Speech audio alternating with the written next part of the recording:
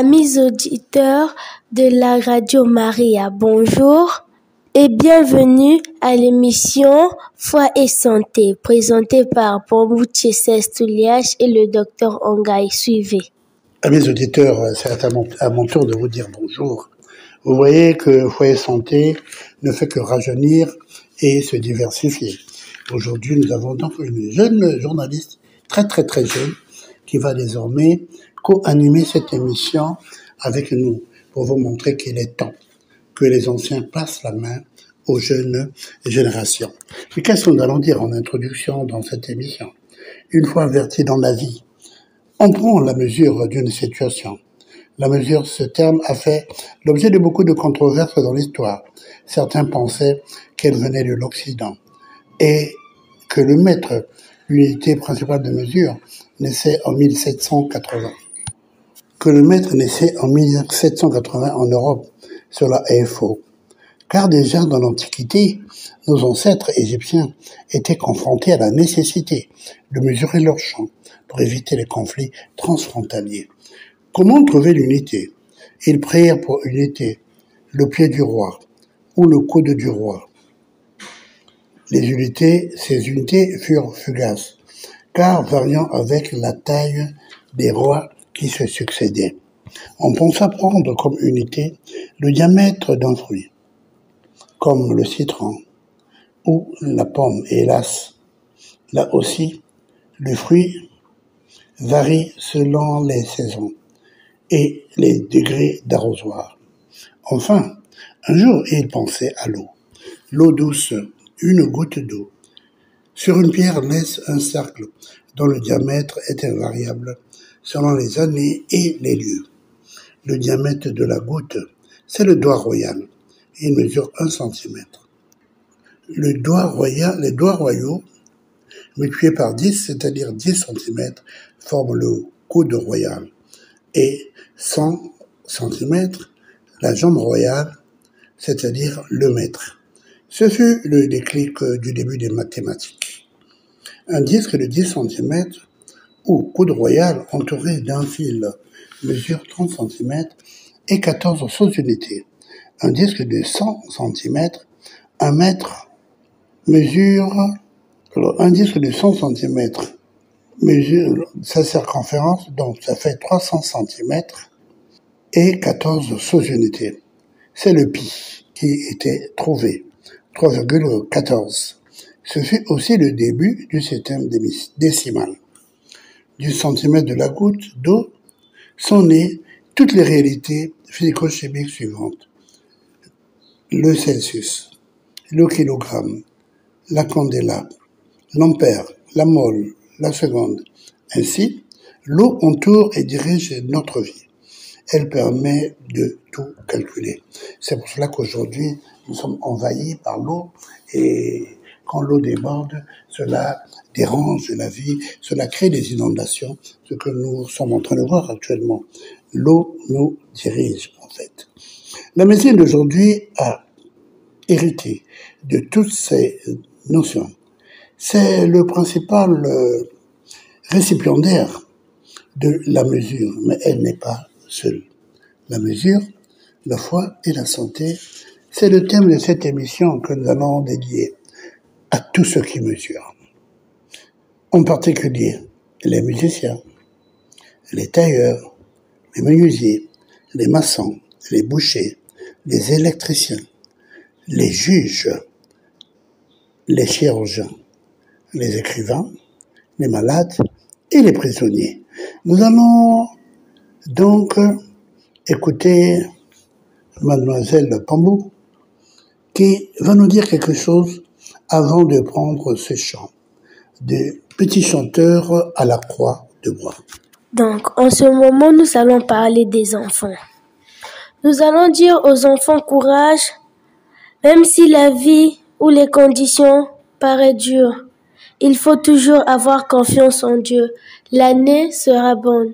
Voilà, alors Gislain lance les petits enfants à la croix du bois.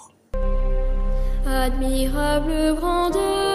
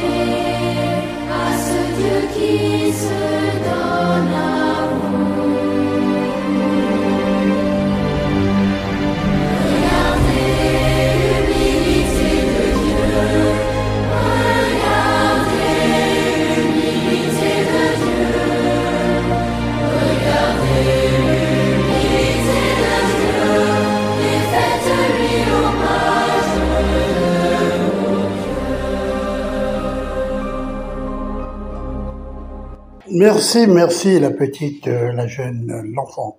Merci. Histoire de la maladie. Céline avait insulté Cobert, son mari, en public. Celui-ci, jeune, 37 ans, fougueux, avait avalé son amertume et réservé sa colère pour le soir, à la maison. Le soir, quand les lanternes brillent, les esprits se chauffent, la querelle reprit. Du poil de la bête. Après une injure, l'homme asséna un coup de poing au nez de la femme. Celui-ci atterrissait sur le dos du nez, l'écrasa net. Le docteur Georges Samuel Loerel examina cette dame de 28 ans, au nez écrasé. Il remarqua que les deux narines saignaient. Il fit une radio des os du nez, de profil. Celle-ci montra l'ombre du nez et l'os nasal avec un trait de fracture nette. Le reste du bilan fut fait. Le docteur programma l'intervention. Des mèches de gaz préparées, moulées par une pommade hémostatique, c'est-à-dire qui arrête le sang, un plâtre circulaire de 10 cm fut déroulé sur la table en 10 épaisseurs. Le docteur coupa avec une paire de ciseaux dix bandes en forme de compresse rectangulaire qu'il superposa, puis, avec son index, il mesura la longueur du dorsum nasal, c'est la partie dorsale du nez, celle que nous voyons, de la patiente, de la racine du nez, entre les deux yeux et la pointe du nez. Les trois phalanges de l'index de la main droite furent aussi la mesure qui servait pour gérer les dimensions du plâtre. Puis une section grossièrement triangulaire du plâtre fut faite, section de 10 épaisseurs. Sous anesthésie locale, le docteur releva l'os nasal cassé avec une spatule, c'est-à-dire un objet de forme allongée qui pénètre dans le nez et redresse les os cassés dans chaque narine. Il infiltra les mèches imbibées dans le nez et posa le squelette du plâtre dans un plateau rectangulaire rempli d'eau. Il massa le plâtre de manière à écraser les aspérités et posa cela sur le nez de la patiente, le sommet de la pyramide entre les deux yeux et les deux pointes à la base sur les deux ailes du nez. Une compresse réunie ferma les deux fosses nasales et on se serva donc de sparadrap pour solidariser le plâtre au niveau du front et au niveau des ailes du nez. Les deux bandelettes de sparadrap venant prendre appui au niveau des joues. Hermétiquement, les fosses nasales furent fermées. La patiente porta les mèches deux jours et le plâtre dix jours. En dix jours, la silhouette nasale redevint normale. La beauté et la respiration reprirent leur place sur la maladie. la foi avait sauvé. Et nous allons écouter, avant de passer à la lecture du texte du jour, l'hymne à la solidarité. Gislain, à toi.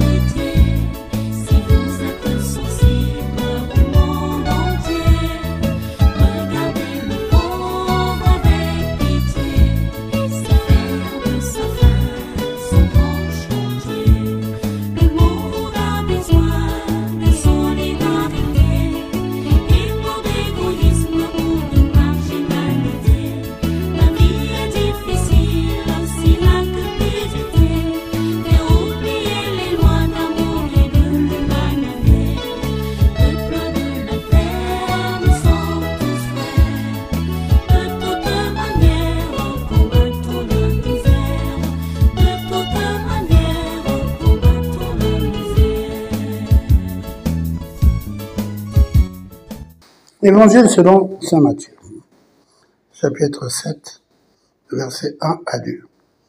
Ne jugez point, afin que vous ne soyez point jugés. Car on vous jugera du jugement dont vous jugez. Et l'on vous mesurera avec la mesure dont vous mesurez. Critiquez les autres. On vous critiquera un jour. Pour éviter de critiquer, quand on vous présente un collègue sous un mauvais angle, prenez la chose à contre-pied. Prenez le mouchard à contre-pied. Vous dites du bien de celui que l'on veut noircir. Vous verrez que l'autre s'en ira et il parlera plus du mal de la personne. Mais en tout cas, il n'en parlera plus à vous dominer, écraser, frustrer, humilier les inférieurs. Vous subirez la même chose. Sinon, pire un jour. On a toujours un jour un plus fort que soi. En boxe, ça se voit tous les jours. hein. Les champions d'hier sont battus aujourd'hui. Au football aussi. Par contre, faites du bien. Utilisez la bonne mesure. La mesure qui plaît, qui encourage. Le sourire, le partage, le pardon, la reconnaissance sont des véritables bombes pour booster vers le haut votre entreprise. La bonne humeur fait libérer en vous des endorphines ou hormones de bonheur et de bien-être. Même sans médicaments, les malades qui vous croiseront seront déjà réconfortés. Prenez tout le monde sur le même pied d'égalité, sur la même hauteur. Ne faites jamais ce que le prophète Nathan reprocha à David, prendre l'unique vache du pauvre pour donner aux visiteurs de luxe et préserver les vaches du riche afin qu'il soit encore plus riche. Dans la mesure, la mauvaise partie, le mauvais partage peut frustrer les uns et favoriser les autres. La différence entre égalité, équité et réalité doit toujours être présente à votre esprit. Donnez à chacun selon ses besoins. Il y a des malades qui ont besoin du maximum de médicaments ou de temps, selon leur état. Acceptez cela. L'égalité, donnez deux cahiers à trois personnes. Celui qui en avait quatre en aura six. Celui qui en avait deux en aura quatre. Celui qui n'en avait pas en aura deux. Si celui qui a zéro a besoin de deux, donnez-lui les deux, quitte à donner un à celui qui en a quatre pour qu'il ait cinq, et un à celui qui est à deux ou qu'il en ait, il est trois. Voilà, au cours de la vie, chacun doit avoir quelque chose. Hélas, la réalité est souvent injuste et nous devons lutter contre cela. C'est un processus, la vie. Lutter pour la justice, en un jour, ce n'est pas toujours évident, mais c'est le combat de notre vie. Le dit aussi en chanson notre ami de tous les jours, Jean-Claude Janada.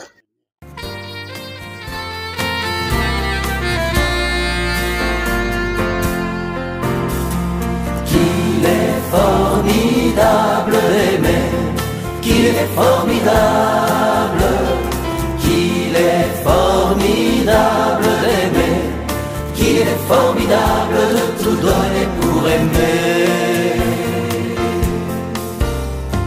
Quand on n'a que ses mains à tendre ou à donner, quand on n'a que ses yeux pour rire ou pour pleurer, quand on n'a que sa voix pour crier et chanter, quand on n'a que sa vie et qu'on veut la donner, qu'il est formidable d'aimer qu'il est formidable, qu'il est formidable d'aimer, qu'il est formidable de tout donner pour aimer. Merci Jean-Claude, merci, merci d'être là, toujours avec nous. Vous voyez, nous traversons des années avec Jean-Claude Janada, ce chanteur religieux à l'inspiration inépuisable. Euh, merci. Et je crois que c'est René Charles et Vouvou qui m'a fait découvrir Jean-Claude Canada ce dimanche matin où je mettais mes pieds pour la première fois dans les studios de la radio Maria. Merci à René et encore une fois, bonne année, Yannouné. Mesure et santé, histoire de la médecine. Il n'y a pas de domaine en santé où ce terme n'est pas utilisé. On mesure très tôt le périmètre brachial pour affirmer la malnutrition d'un enfant. On mesure la silhouette cardiaque à la radiographie pour affirmer une insuffisance cardiaque. On mesure la tension artérielle pour affirmer que les organes sont bien perfusés. On mesure l'état de conscience du malade. On mesure les indicateurs de santé pour savoir le degré de bonne santé d'une population on, mesure l'espérance de vie pour définir la longévité d'un peuple ou d'un individu et par ricochet le niveau de vie de tout un peuple.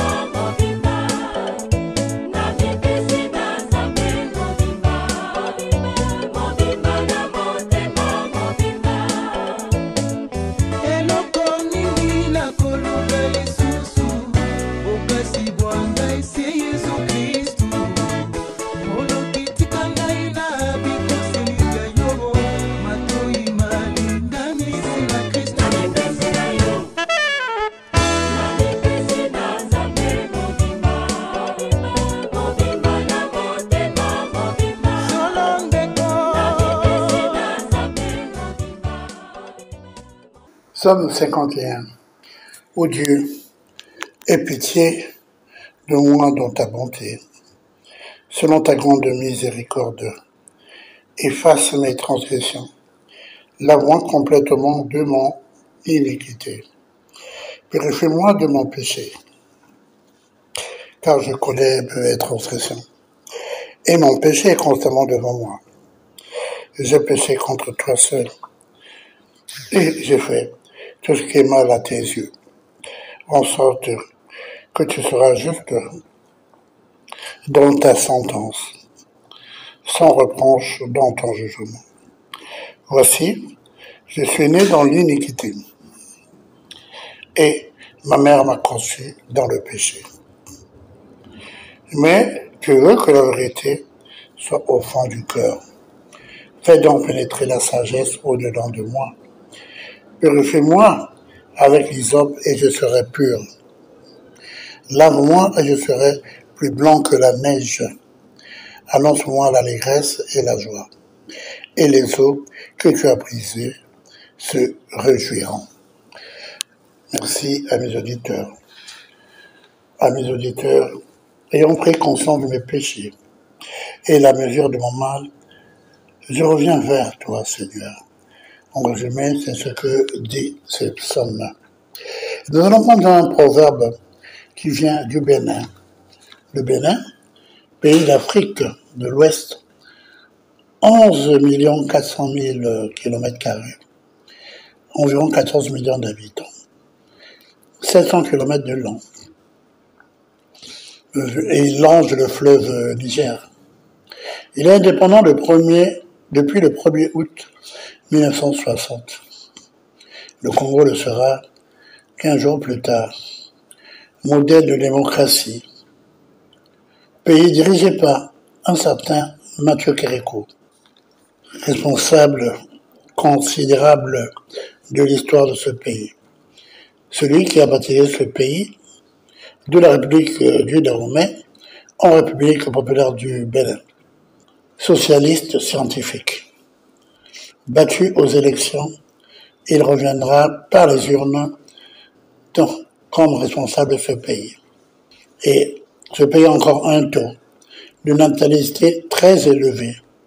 Et le taux de mortalité infantile est encore fort, ainsi que la moyenne de naissance qui est d'environ 6 enfants par femme. L'espérance de vie est de 61 ans en 2020. Voilà un peu, nous allons prendre ce proverbe du Bénin qui dit ceci. Le serpent a beau courir, il ne va pas plus vite que sa tête. Le serpent a beau vite courir, il ne va et n'ira jamais plus vite que sa tête. Voilà, c'est une vérité. Comme le disait Voltaire, la vérité est un grand chien. Quand il est pressé, il peut mordre ou avancer sur vent.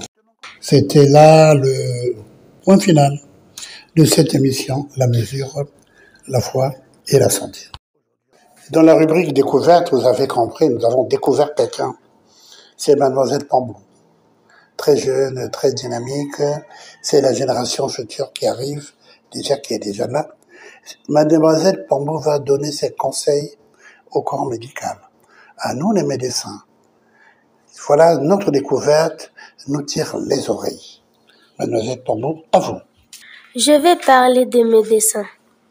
Nous avons l'habitude d'écouter ou voir des médecins crier sur les malades, crier sur les gens, mais nous allons demander aux médecins de changer, qu'ils travaillent ensemble. Apparemment, nombreux médecins n'ont pas d'expérience. Donc, ils doivent travailler ensemble pour qu'elles puissent s'améliorer. Et le troisième thème, qu'ils ne puissent pas voir seulement l'argent. Pas que l'argent parce qu'il y a beaucoup de choses plus mieux que l'argent. Merci. Ah, vous avez écouté, hein moi c'est parti droit de mon cœur. Il y a des choses meilleures que l'argent. Et parmi ces choses, il y a la parole de Dieu. Parmi ces choses, il y a la vénération de la Vierge Marie. Parmi ces choses, il y a l'audition de la radio Maria, la mère des radios. Merci, merci, merci euh, à mes auditeurs. Nous vous remercions sur tout le territoire du Congo de l'archidiocèse de Pointe-Noire à l'archidiocèse de Brazzaville, à l'archidiocèse de Wando, au diocèse de Lassanga là-bas, là où Radio Maria a commencé, le diocèse de d'Oli, de Caï,